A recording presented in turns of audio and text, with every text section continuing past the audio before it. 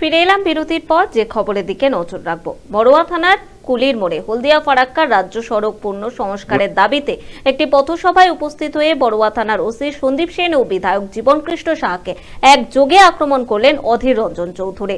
ওসির করা মন্তব্যের পাল্টা প্রতিক্রিয়াতে অধীর রঞ্জন চৌধুরী বলেন, হলদিয়া ফারাক্কার রাজ্য সড়কটির দীর্ঘদিন ধরেই কোনো সংস্কারের কাজ হয় না। শুধুমাত্র ইট বিছানা ছাড়া আর কোনো কাজ হয় না।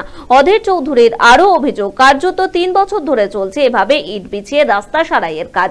অধীর চৌধুরীর কটাক্ষ যেখানকার দারোগা নিজেই স্বীকার করে একশো দিনের কাজের টাকা বরাদ্দ থেকে পঁচাত্তর টাকা দিতে হয় অন্যদের কমিশন আর কাজ হয় পঁচিশ টাকা সেখানে তেমনই অবস্থা স্বাভাবিক। আর একই সঙ্গে বড়ুয়ার ওসির বক্তব্যের সমর্থনে এগিয়ে আসেন কংগ্রেস নেতা অধীর রঞ্জন চৌধুরী। তিনি ওসিকে উদ্দেশ্য করে বলেন, জ্ঞানে বা অজ্ঞানে যে কথা বলেছেন তা অতি বাস্তব। তবে এই অবস্থা শুধু মুর্শিদাবাদে নয়, পুরো রাজ্য জুড়েই এই তোলাবাজি চলছে বলে অভিযোগ করেন অধীর রঞ্জন চৌধুরী ইট বিছিয়ে, রোলার চালিয়ে কিছু কন্ট্রাক্টরের পকেট ভরানো যেতে পারে।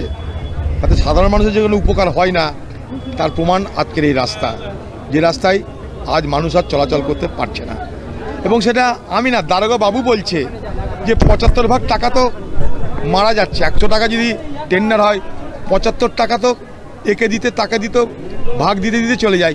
পঁচিশ টাকা কি কাজ হয়? এটাই তো হয়েছে। এই পঁচিশ টাকার কাজ করতে গিয়ে আজ সারা বাংলারই দুরবস্থা হয়েছে। অর্থাৎ দুর্নীতি আমাদের এ বাংলার আজ সবথেকে বড় অভিশাপ যে দুর্নীতির কারণে রাস্তা হয় না ঘাট হয় না এ বাংলায় মানুষকে এত অসুবিধার মধ্যে দিয়ে চলতে হয়। বাসিন্দাদের কি হবে? দেখুন ব্যাপারটা হচ্ছে যে জ্ঞানে অজ্ঞানে সচেতন বা অচেতনভাবে এখানকার দারোগাবাবু সত্য কথাটা বলেছেন। দারোগাবাবু কিন্তু সত্য কথাটা বলেছেন। জ্ঞানে, অজ্ঞানে, যে এখানটায় দিদি নিজে ভাগ করে দিচ্ছে। দিদি নেতাজি ইন্ডোর স্টেডিয়ামে বলে দিয়েছে, ভাই, যা কামাবে কামাবে, পঁচাত্তর তোমরা রাখো, পঁচিশ আমাকে দাও। তো সেটাই নিচের তলায় পালিত হচ্ছে। তো দিদির এটা ঘোষিত নীতি।